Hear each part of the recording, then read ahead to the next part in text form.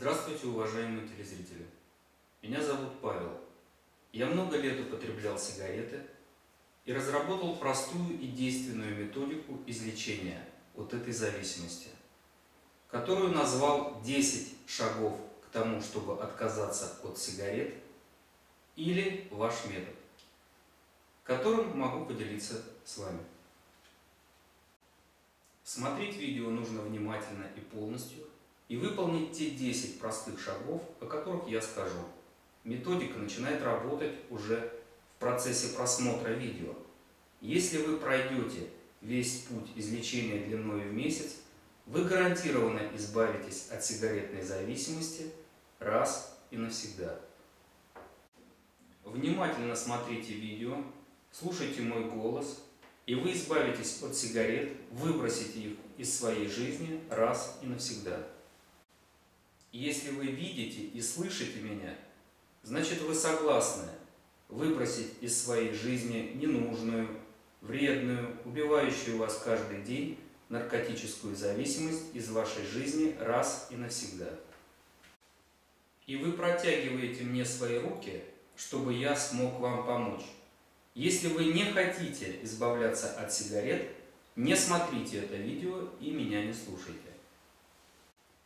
Очень коротко поговорим с вами о том, какие существуют в мире методики, которые позволяют человеку избавиться от наркотической сигаретной зависимости.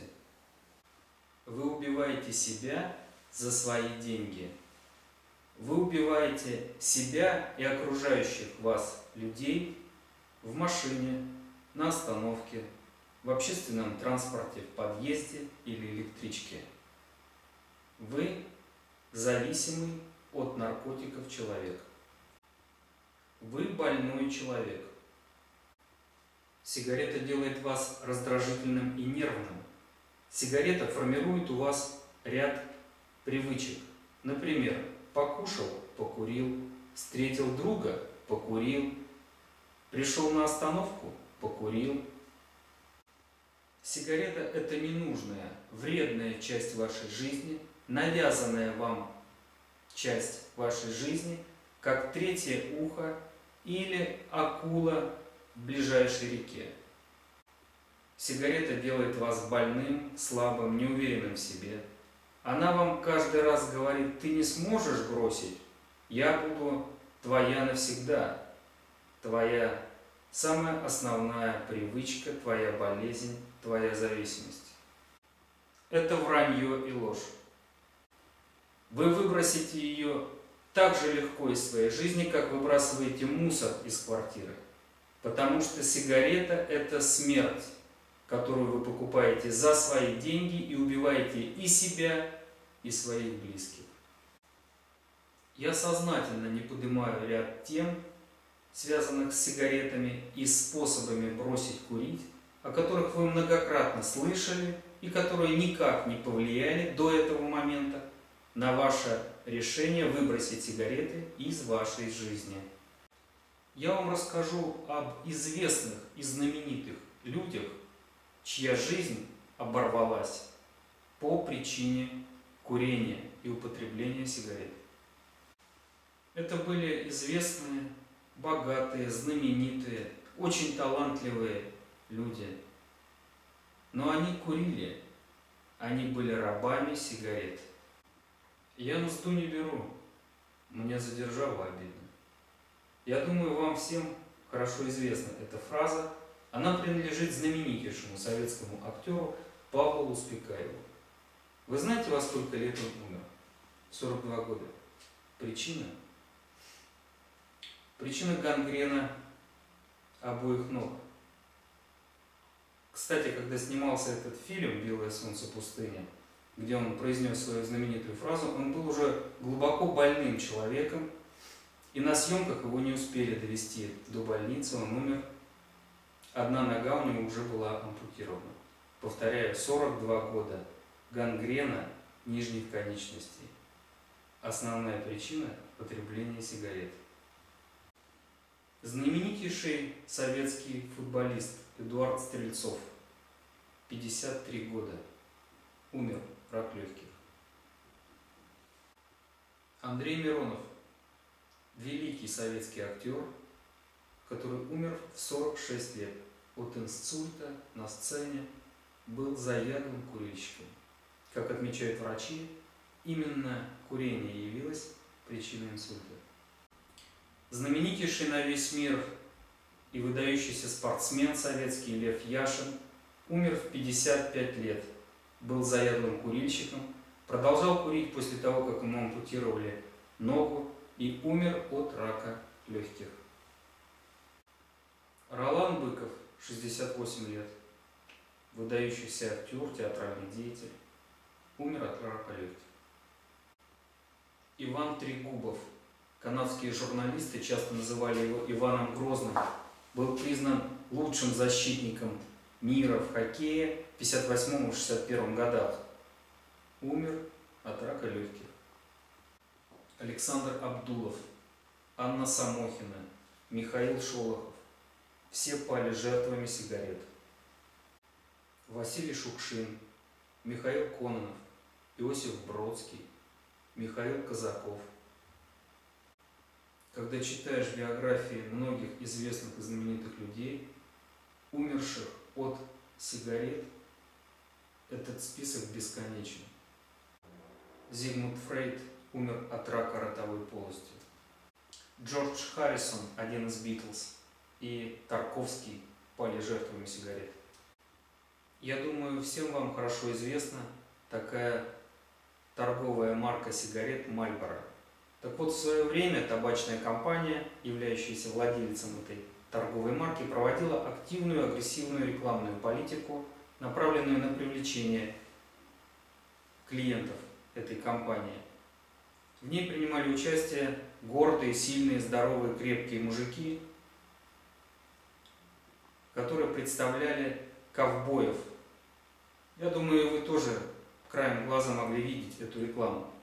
Так вот, наиболее известные, разрекламированные персонажи этой рекламной кампании, а именно Уэйн Макларен, Дэвид Маклин, Дик Молот и Эрик Лоусон, они все умерли от рака легких.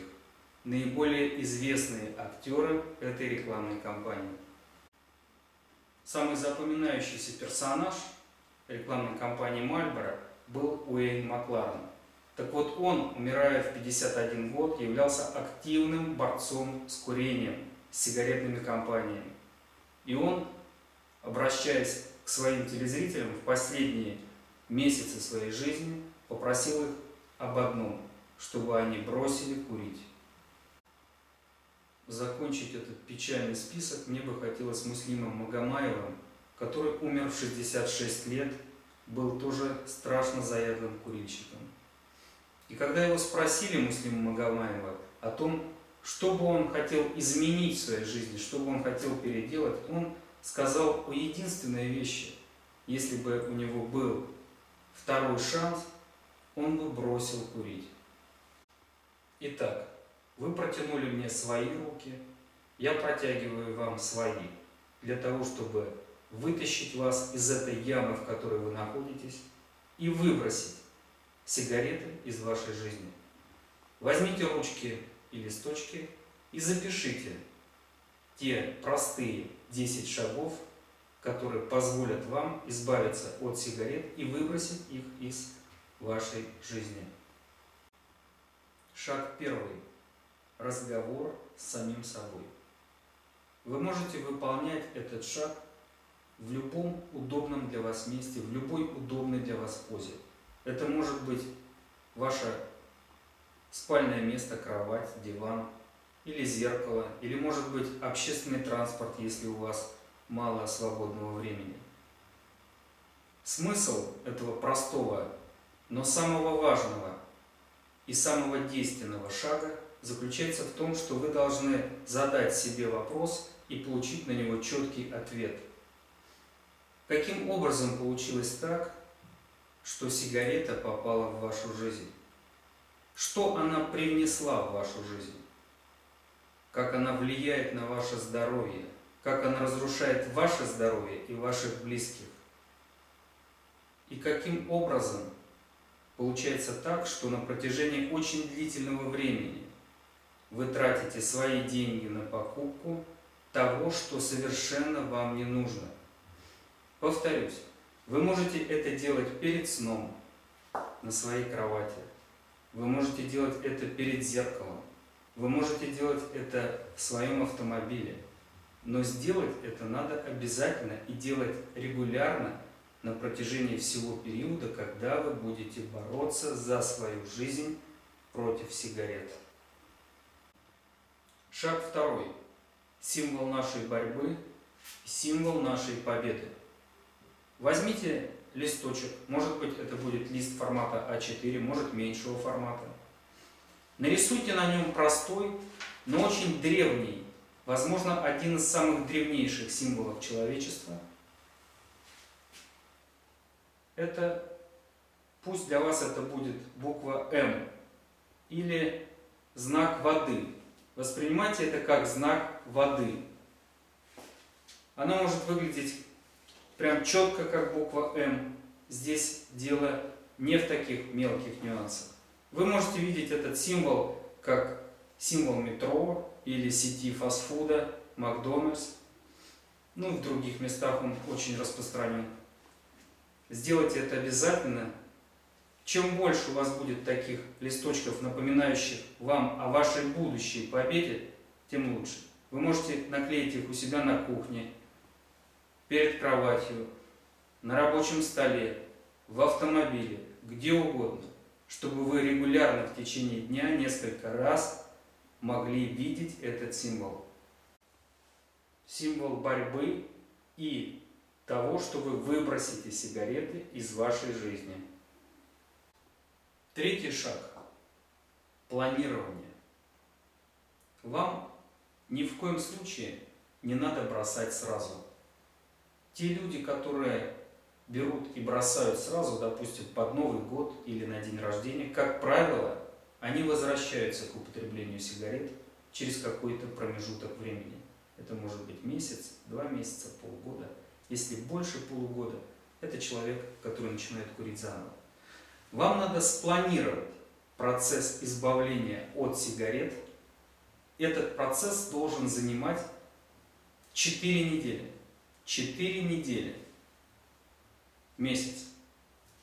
Сокращайте употребление сигарет на 25% в неделю. Вы понимаете, о чем я говорю? Сокращайте употребление сигарет на 25%, на четверть. На четверть в неделю. Четвертый шаг – дыхание. Вы проснулись. В идеале, после пробуждения, вы должны увидеть символ вашей борьбы и избавления от сигарет, символ воды. Ну, если вы его не увидите, великолепно, если вы увидите его в течение дня в любом другом месте. Но после пробуждения вам обязательно надо выйти на какое-то открытое пространство, может быть это балкон, может быть, если такой возможности нет, любое другое место, открытое пространство, и сделать 15 глубоких вдохов и выдохов ртом, и 15 глубоких вдохов и выдохов носом. Я максимально упрощаю вопрос дыхания, просто говорю, что вам надо сделать 15 глубоких вдохов и 15 глубоких выдохов ртом и носом. Шаг пятый. Вода. Человек так устроен, что в течение дня ему необходимо обязательно какое-то количество воды употреблять. Так вот, в процессе того, как вы будете бороться за свою жизнь, вы будете бороться за то, чтобы избавиться от сигарет, выбросить их из своей жизни, вам необходимо в целом увеличить объем потребления воды. И вообще возьмите себе за, за правило, если вы хотите покурить, налейте стакан воды и выпейте его. Вопрос, какую воду пить. Здесь, если очень коротко отвечать на ваш вопрос, я предлагаю такой вариант. Купите обычную бутылированную воду, полтора литра, которая продается в каждом регионе своя. Допустим, в том регионе, где я живу, очень популярна кашинская минеральная вода. В вашем регионе, возможно, это будет архыз, родина, волжанка или как-то другое, по-другому она будет называться. Если у вас нет возможности приобрести бутылированную воду в магазине, вы можете пойти другим, не менее эффективным путем. Возьмите обычную холодную воду, наберите ее в кастрюлю, поставьте на источник подогрева, электроплита, газовая плита, индукционная, и доведите ее до такого состояния, когда она практически закипела, пошли уже пузырьки с дна кастрюли, и в этот момент вам надо ее отключить, охладить, и именно вот эту воду используйте для того, чтобы бороться за свою свободу. Шаг шестой. Питание. В этом вопросе я вам рекомендую употреблять ту же пищу, которую вы употребляли и до того периода, пока начали бороться с сигаретами. Обычную, простую пищу, к которой вы привыкли. Единственное, что необходимо ввести в обязательное рацион употребления, это повышенное количество витамина С. Если у вас позволяют средства, купите аскорбиновую кислоту в аптеке. Она недорогая и доступна каждому. Аскорбиновая кислота. Если такой возможности нет, вы можете увеличить в рационе питания клюкву, лимон или какие-то другие овощи, фрукты, в которых повышенное содержание витаминов, в том числе витамина С. Если позволяют финансовые средства, вы можете ввести в рацион своего питания икру щуки. Икру щуки. По возможности – по возможности хотя бы в раз в неделю устраивайте себе яблочный день, то есть повышенное количество потребления яблок. В день это может быть 4-5 штук. Лицам, страдающим диабетом, то, что я сказал о витамине С, выполнять не надо. Седьмой шаг. Локализация. Вам необходимо четко определить одно, два или, возможно, если вы очень заядлый курильщик, 5 мест, где у вас будут храниться, именно храниться аксессуары, связанные с курением. Это может быть спички, зажигалка, сами сигареты, но они не должны находиться при вас. Теперь у вас есть определенное место, куда вы подходите, и пока вы не можете выбросить сигареты из вашей жизни, вы употребляете там сигареты. В этот шаг также включается такой очень важный момент, момент изменения поведения. Что я подразумеваю под этим моментом? Если вы курили, предположим, до этого в квартире, вам необходимо теперь курить на балконе. Если вы курили возле первого подъезда, курите теперь возле третьего. Если вы курили в машине, останавливайте машину, выходите из машины и курите. Всегда изменяйте положение, в котором вы курили. Если вы, предположим, просыпались ночью, вставали, шли на кухню и курили, и вы по какой-то причине не можете выйти с кухни на балкон, вам необходимо выключить свет. Если вы курили, встретив своего друга Александра, никогда теперь не курите с ним. Разговаривайте точно так же, но не курите. Изменяйте, каждый раз изменяйте свое поведение в процессе вашей борьбы. Шаг восьмой. Окружение. Вам необходимо поставить в известность всех ваших родных и близких прежде всего, и окружение второго плана на работе, в коллективе, о том, что вы боретесь за свою жизнь, вы выбрасываете сигареты из вашей жизни. Это надо сделать обязательно. Вам надо поговорить об этом, если вы хотите. Если вы не хотите этого, не надо разговаривать. Но предупредить окружающих о том, что вы хотите выбросить сигареты из вашей жизни – необходимо сделать обязательно. То есть скажите своему ближайшему окружению, что с сегодняшнего дня вы начали борьбу, которая закончится, закончится по вашему плану, который у вас есть. Он должен быть четко написан и висеть перед вашими глазами, точно так же, как символ вашей борьбы. Вы должны точно знать, когда вы победите, у вас точно должен быть символ вашей победы. И об этом вы расскажете своим окружающим людям. Шаг девятый. Изменения. Смысл этого шага заключается в том, что вы должны сделать в своей жизни такие изменения, которые увидели бы и вы сами, и окружающие вас люди. Повторяю, обязательно их надо сделать, и их должны ощутить и увидеть не только вы, но и окружающие вас люди. Это может быть уборка в квартире, это может быть ремонт в квартире, вы можете навести порядок в автомобиле, пропылесосить, убрать какую-то грязь, навести порядок в подъезде или в гаражном кооперативе. Вы можете написать какое-то стихотворение, станцевать или поучаствовать в какой-то акции в вашем городе или поселке. Все что угодно. Самое основное – это должны быть значимые поэтапные изменения. Вы должны не останавливаться, изменить маршруты движения. Вы не должны останавливаться на тех местах, где вы до этого останавливались и употребляли сигареты. То есть в вашей жизни должны произойти изменения, которые должны увидеть и вы, и окружающие вас люди. Шаг десятый. Обещание. Во-первых, на десятом шаге вам необходимо поблагодарить меня доступными вам средствами и методами. Самый простой будет и эффективный подписка вас на мой канал.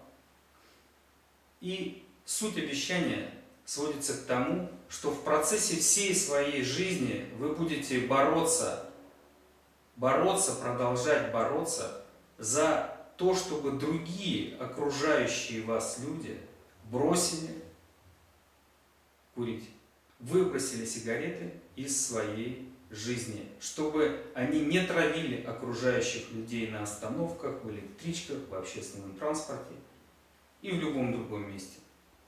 Боритесь за это. Распространяйте метод, придумывайте новые шаги, улучшайте те шаги, которые уже существуют. Боритесь за свободу, за жизнь, за то, чтобы люди избавились от этой зависимости. Спасибо за внимание. Не забудьте подписаться на канал. До новых встреч!